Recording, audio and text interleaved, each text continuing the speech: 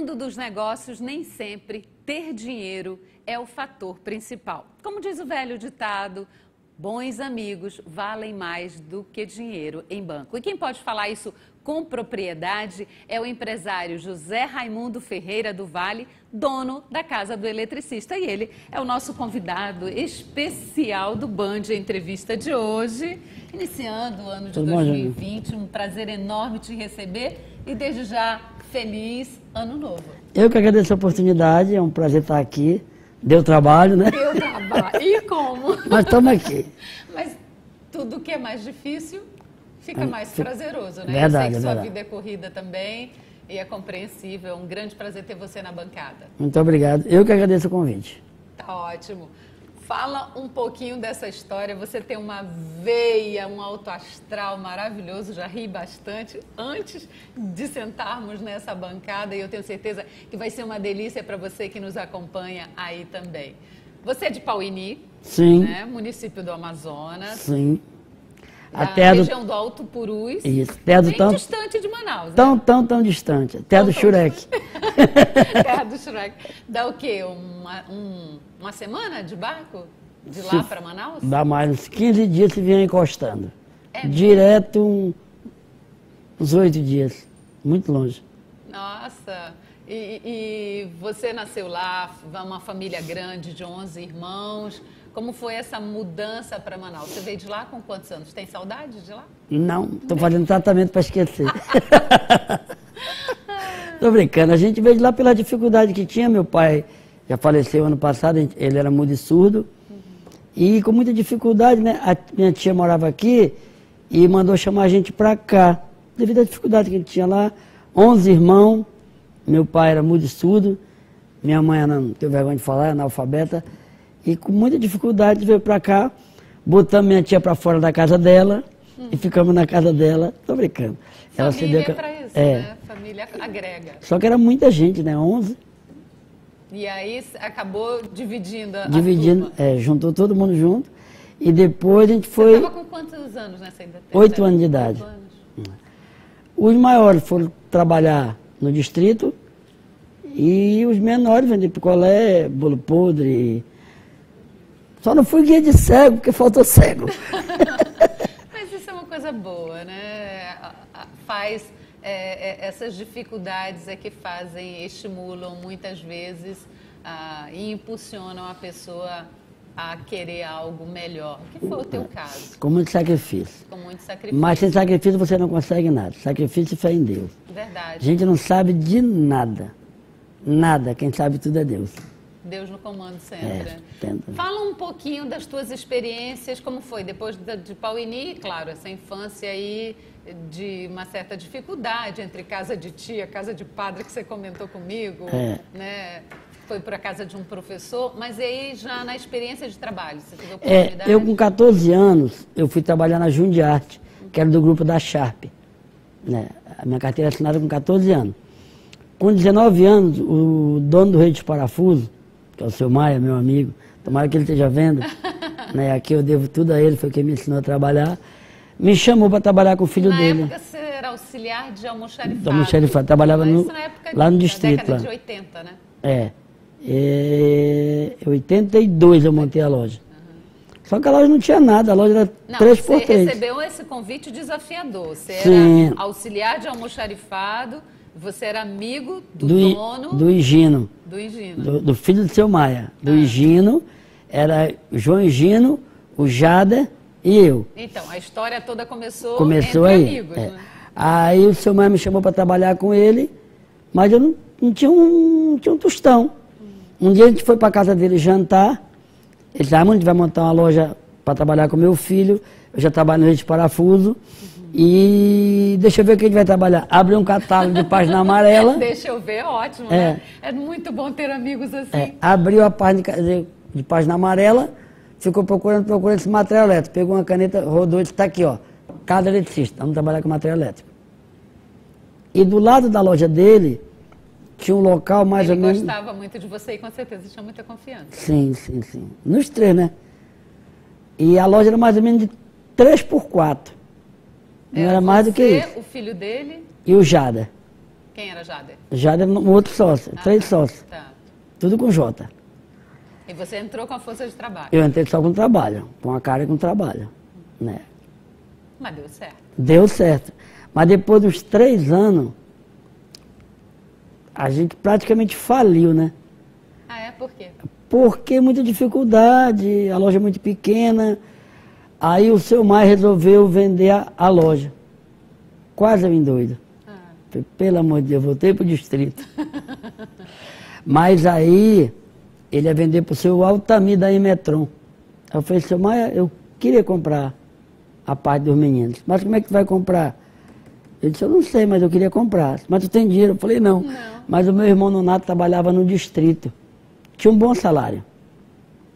Aí eu peço para ele pedir a conta e com a indenização dele, eu. ele pediu? Ele pediu a conta. Me deu o dinheiro e voltou para o distrito. Com esse dinheiro, a gente pagou uma parte dos dois sócios, um pedaço para cada, e o resto a gente foi trabalhar para pagar. E demorou quanto tempo aí? Uma eternidade. Muito difícil. A, ca- a casa do eletricista já tem o quê? Mais de 20 anos, né? Mais Ele 25 dá anos. 82, 30 e quase 40 anos. Caramba, é uma vida mesmo, é uma estrada e tanto, É né? mu- muito trabalho. E, e essas dificuldades depois não deu para você ficar sozinho, né? Como é que você fez? Porque com o rompimento da sociedade anterior, Os meus irmãos vieram trabalhar comigo. irmão veio trabalhar com Não, esse, esse ficou no distrito. Os menores, Sebastião, a Maria José, a Neuza e o Zé Maria, vieram me ajudar sem salário. 0,800. Porque não era, todo mundo para dentro de casa. Todo mundo trabalhando para dentro de casa. Já era na Joaquim Nabuco? Já era no Joaquim Nabuco. Ali é onde fica a Destrel, né, já naquele ferro de engomar do Floriano. Aham. Ferro de engomar é ótimo. É, parece um ferro de engomar, né? na- no final de Joaquim Nabuco ali. Aí Deus foi ajudando, foi ajudando, foi ajudando, e trabalhando, trabalhando, trabalhando. Um dia, a gente com muita dificuldade, com aluguel, a- a- É, depois de cinco anos, mais ou menos, vocês compraram um prédio próprio, né? foi uma. É, não é um Não, não é prédio. um prédio, uma é- casa, é. né?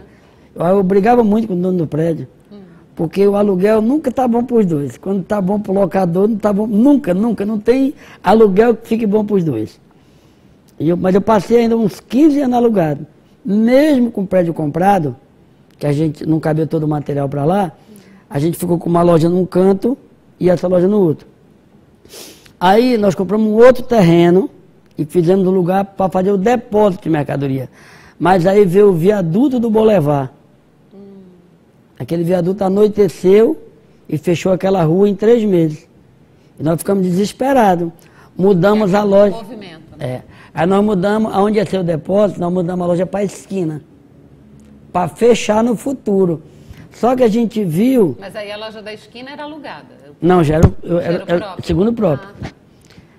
Aí a gente viu que o mesmo cliente da esquina não era da outra. Isso eram perfis de públicos É, eu muito consumidores diferentes. Eu muito enxerido, meu irmão muito sério. Então, alguns preferiam meu irmão, outros preferiam ficar com a gente lá. Coisa boa. É. E assim a gente levou uns 10 anos, E mantiveram os dois pontos. né? os dois pontos. Aí veio a crise, muita dificuldade. Quando fui, a gente tinha quase 160 funcionários entre as duas lojas. Eu já tinha comprado o casarão, aquele que é do lado daquele casarão grande lá, já tinha comprado, mas servia quase de depósito. Quando a crise veio, a gente não estava conseguindo pagar os compromissos. Num mês eu resolvi fechar a loja. Falei com meu irmão, igual do Natan, gente não vai sobreviver se não fechar essa loja. Porque daqui são 57 funcionários e 100 da outra, a gente não vai sobreviver. E de onde se tira não se põe, falta faz. É, Aí nós pegamos os vendedores que vendem fiado, colocamos para a loja dele e ficamos só com o pessoal que vende à vista. A gente conseguiu ver que a clientela se mudou para lá naturalmente.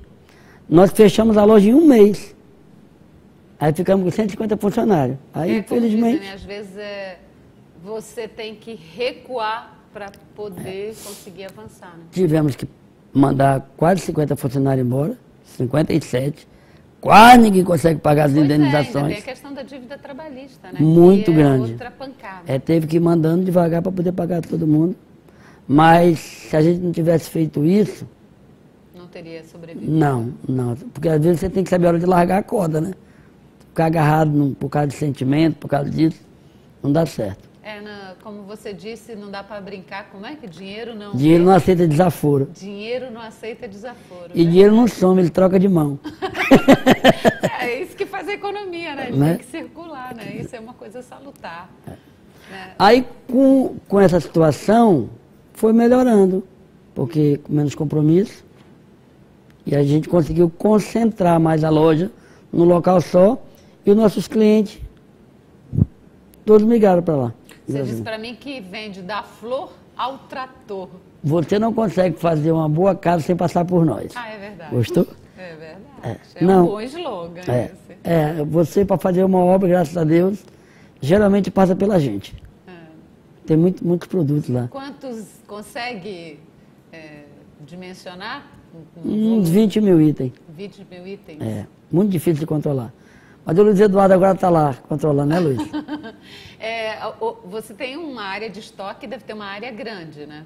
6 mil metros quadrados. Você vende só para Manaus ou hoje você já abastece? Quer outra- comprar? Vende em todo canto. Né? Sério? todo lugar. Tabatinga, para todo o interior, a gente vende para Belém. Porque aqui é Zona Franca, né? Então a gente tem um preço mais, melhor. Mais em conta. Entrega no porto. O pessoal telefona. E a gente entrega no porto. Para todo lugar. Roraima. A gente vende muito para Roraima também. Teve um período em que nós passamos por uma crise também, pelo menos na bancada aqui, estivemos pessoas que trabalham com imobiliária, com a área de construção civil e falaram sobre a crise na construção civil que impacta o teu negócio. Mas isso nós vamos falar depois do nosso breve intervalo comercial, tá bom? Tá bom. E você não sai daí que o bate-papo com José Raimundo Ferreira do Vale, da Casa do Eletricista, continua.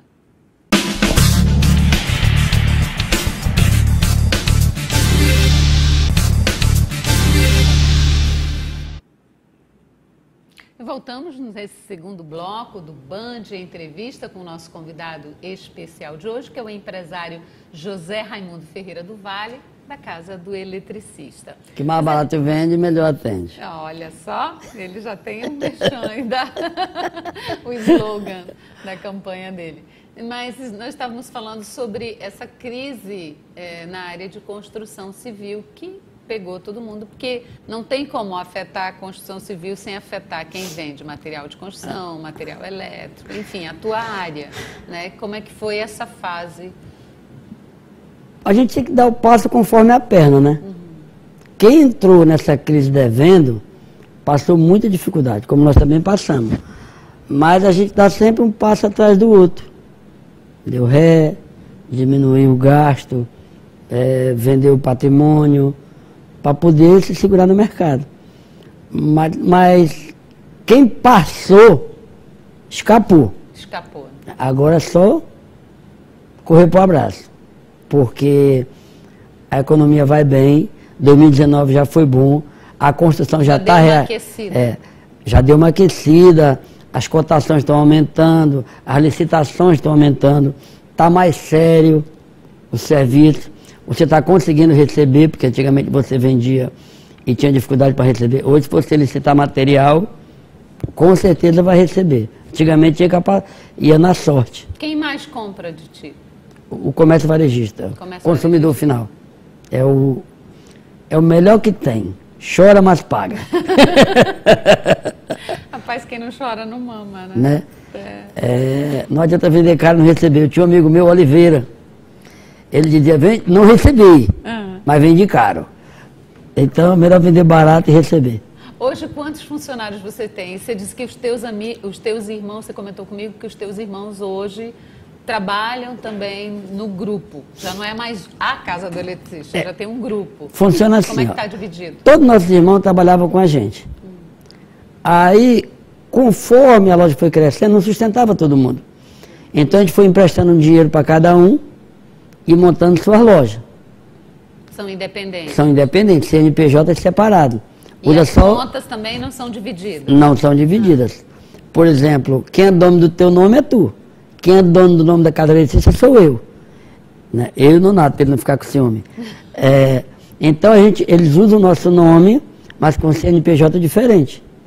As contas deles são totalmente independentes, a responsabilidade é deles, o lucro é dele, tanto é que tem os melhores, mas todo mundo vive do nome Casa do Eletricista. Os melhores, o maior, mas o importante é que. A tua é a da. continua sendo a da Joaquim Nabuco? Joaquim Nabuco, lá, onde tem um casarão. É a maior.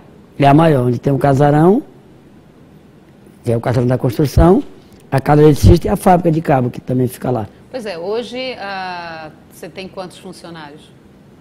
A loja, a loja, nós temos 120 funcionários. A fábrica tem 20. Entrega bem, né? É, a fábrica tem 22. Pois é, vamos falar da fábrica já já. É, e os irmãos também empregam, eu acredito em gira em torno, são 13 lojas. Já são 13 lojas é, no mercado? Acho que em torno, no total, de 200 funcionários, mais ou menos. Que ótimo, que bom.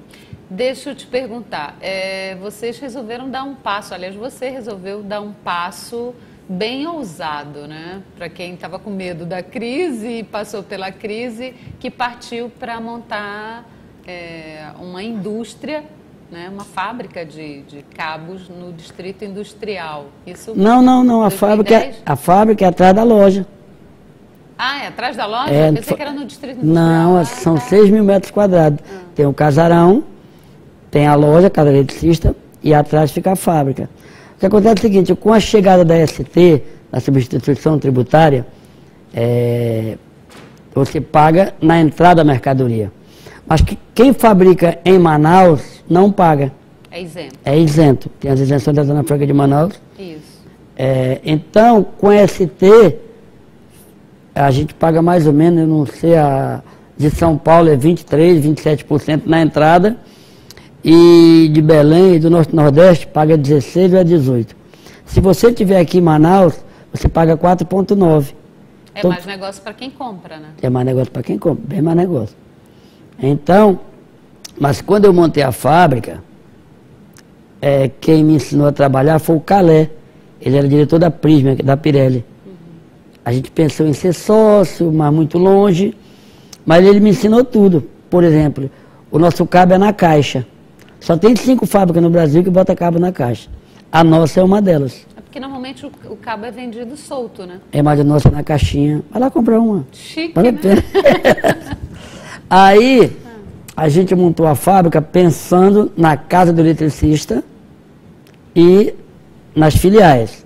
Mas aí eu viajei, eu não lembro para onde foi que eu fui, com o Salviano, da SV, meu parceirão, o pessoal da Casa das Correias, o Guri, o Antônio da Cocil, né? e o menino Efraim. Né? A gente, além de ser a gente viajou junto. E eu comecei a oferecer o cabo para eles. E o menino que estava vendo disse, presta. Eu digo, presta. É aquela desconfiança, é, né? Tá eu falei, não, pô, presta. Quem me, ensinou, quem me ensinou a fazer foi o Calé da Pirelli, até porque para a gente fazer porcaria não ia dar certo, porque primeiro tinha que zelar pelo nome da casa eletricista, e logo em seguida pelo nome da fábrica. O Salviano, da SV, obrigado, hum. acreditou, o Antônio da Cocil, o Guri da Casa das Correias, é, o próprio Efraim e outros e outros clientes. Então nós somos concorrente no material elétrico, mas sou fornecedor dele na parte ah, de cabo. Coisa boa uma concorrência salutar. É, né? Tem que ser, sozinho ninguém vai. Sozinho hoje no mercado, é, nesse mundo dos negócios, você sobrevive e respira melhor se tiver um. É. um Nós temos uma boa parceria, graças a Deus. Parceria. Perfeito. E qual o volume de produção da tua fábrica? 50 toneladas por mês. Você consegue vender toda essa produção? Mais que tivesse. Sério? Sério. É, mas esse ano agora a gente vai. A meta? A meta é ir para 100 toneladas, se Deus quiser. Esse ano ainda. Essa produção de 50 toneladas é só para os parceiros que você já citou? Ou você consegue também fora do, do eixo Manaus? Não, não. 50 toneladas para esse parceiro que eu citei. Mas é, então você que já tem clientes fora de Manaus, Belém, Roraima, é negócio para te expandir mesmo. Tem que trabalhar mais um pouquinho. Né? Chama mais irmãos. Todos os irmãos, ainda tem irmão que está fora? Não, tá todo mundo. Tá todo mundo já trabalhando. Mas os meninos, o, nossos filhos, o, o Luiz Eduardo, o Rodrigo, a Heloísa, Você tem filhos, seu um Tem. já veio, inclusive, está aqui no. Né, no- é, já estão ajudando a gente. Uhum. Então a gente está mais ou menos passando devagar a administração para eles. Então esse ano eu vou cuidar mais da fábrica do que da loja. Porque eles já dão conta sozinho. Sozinho, Em termos, né? tem que estar amarrado. Você tem quanto? Como é o negócio? É remo e. É, a vara e a remo. A vária rema. É. Dá e e rema. Senão não chega. Quantos filhos você tem? Três. Três? O Luiz, a Heloísa e o Júnior. Gatão ali, ó. É, tô vendo, é o Júnior que está aqui. Bem-vindo, Júnior. E todos já começaram, você já começou esse processo de inclusão? Desde humana? cedo, desde, Desde cedo. eles iam para aula de manhã ficava no caixa de tarde. Agora não pode trabalhar mais criança, né? Antigamente podia. Eu, minha carteira assinada com 14 anos. Mas sendo o teu próprio negócio, eles podem trabalhar. Morre, morre, morre nenhum. Olha, nunca vi trabalho matar ninguém. Verdade, é bom porque já vai aprendendo os ofícios do pai e na carreira E vai ser deles mesmo, né? Que a gente não vai durar para sempre. Verdade. Eles têm mais é que zelar. Nessa perspectiva bem-humorada sua, que você tem esse humor maravilhoso, Obrigado. né? Essa, esse pensamento sempre, essa vibração positiva, isso é uma coisa boa no mundo dos negócios também. Como é que você vislumbra o ano de 2020? Ninguém é mais rico do que eu. Não tem, não tem. Nem o dono do Bradesco. Eu era colezeiro. Então, desde que eu montei a loja, todo ano é bom. Todo ano é bom. Todo, mesmo na época da crise, foi bom. Então, esse ano vai ser melhor ainda. E só tem que trabalhar muito, se dedicar cada vez mais. O, as coisas estão mais sérias, os pagamentos estão mais sérios. Estou falando que você consegue vender e receber. Se você obedecer. Uma vez eu estava numa academia e estava chovendo. E tinha uma revista velha no chão. E eu fui olhar a revista. Estava escrito assim: quem obedecer o Serasa jamais pegará tombo. É difícil você obedecer o Serasa. Mas se você observar e seguir aquela regra, você recebe. Tem muita gente boa. E a maioria das pessoas que vai comprar da gente que não consegue pagar, não é de maldade. É porque não tem bom pagador sem dinheiro. Não existe isso. Você pode ser a melhor, melhor pessoa do mundo. Mas se você quebrar, como é que você vai me pagar? E aí, como é que você trabalha com isso? Tem muita inadimplência nessa área? Já teve muito, mas a gente, quando não tem o Black Friday, a gente faz as cobranças. Também. Dispensa, chama o caba, Perdoa. perdoa, Ah, que legal, vou divide. começar a controlar. Faz qual- fazemos qualquer negócio. Mentira, eu já comprei muito lá. Então, de novembro a dezembro, a gente chama os clientes, vê qual foi a dificuldade que eles tiveram. É, uma boa atitude. É, essa. uma vez eu estava na sala lá e o cara ia passando com um saco de pão na minha frente. Eu falei, aquele é dinheiro. Eu falei, meu filho, vem cá, vem cá, vem cá, vem cá. Aí a Valdirene, que é a nossa, faz a cobrança, seu Zé, já resolvi com ele. Eu falei, peraí, vem cá, meu filho, o que é isso aí? Dinheiro. Falei, me dá aqui. aí eu peguei um saco de dinheiro, tinha mais 25 mil reais. Eu falei, não, seu Zé, que a conta dele dá 30 mil. Aí eu falei, me dá o recibo aí. Seu Zé da falei, me dá o recibo. Já pensou 25 mil numa assinatura? Nossa Senhora. Tá perdoado. Tá perdoado. Ferreira Xavier é o nome dele, nunca me esqueço. Como é que diz o ditado? Melhor um pássaro na mão do que dez voando, né? Então a gente, o negócio é receber. Ah, Você tem uma pegada legal, eu achei muito interessante a iniciativa que você teve e uma, uma solução para um problema. Você vende cabos naquelas bobinas gigantes de madeira. E aquilo era um- se tornava um super problema para você, porque na- depois de usado o cabo, você não sabia o que fazer com aquelas carretéis enormes. E a coleta de lixo nem sempre recolhia por ser algo gigantesco. Aí você resolveu fazer algo realmente Fazer, me- inovador, né? fazer mesa. Fazer É, mesa. lá, na, lá quando for na loja eu vou te mostrar. Tinha dela giratória, tinha de tudo quanto era jeito. É, e a gente já, para se livrar delas, a gente fazia e dava para o cliente. Mário Tinoco tem uma. Opa! A gente mandava para o sítio dos clientes. Legal. O próprio, se você fosse nosso cliente, a gente montava tudinho, com mesa, com cadeira, com tudo, botava no caminhão e mandava deixar na casa do cliente. Mas agora com a fábrica acabou a brincadeira. Mas olha, Zé Raimundo, foi um prazer ter você na bancada. Sucesso. Adorei nosso bate-papo, um super humor Queria que você me desculpasse que eu não pude vir da outra vez. Não se preocupe, tá Mas perdoadíssimo. Cheguei meio-dia para não dizer Eu sei, chegou bem cedo hoje mesmo. Mas tudo de bom para você. Mais uma vez, obrigada. De nada. E obrigada a você que nos acompanhou aqui nesse bate-papo com o empresário José Raimundo Ferreira do Vale, da Casa do Eletricista. Até o próximo sábado com mais um convidado especial. Até lá. Vai lá visitar nós